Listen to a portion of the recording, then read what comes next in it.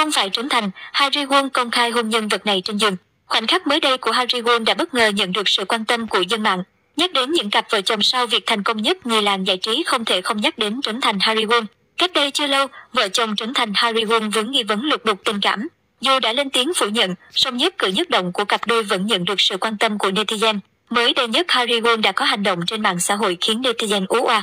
Theo đó, bà xã Trấn Thành đã bắt chen TikTok, chia sẻ đoạn clip cùng chú mèo cưng của cả hai. Trong clip, Harry Won vuốt ve chú mèo đang nằm trên giường, tuy nhiên đến khi nữ ca sĩ trao cho chú mèo những nụ hôn thì chú mèo này lại lẳng lặng rời đi.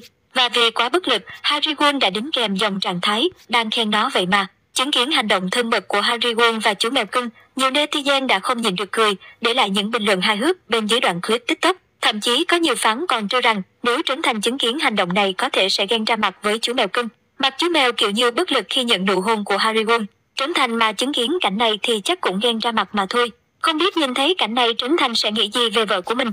Trước đó, Trấn Thành và Harry Won không xuất hiện cùng nhau một khoảng thời gian dài khiến dân tình đặt nghi vấn mối quan hệ của cả hai rạn nứt.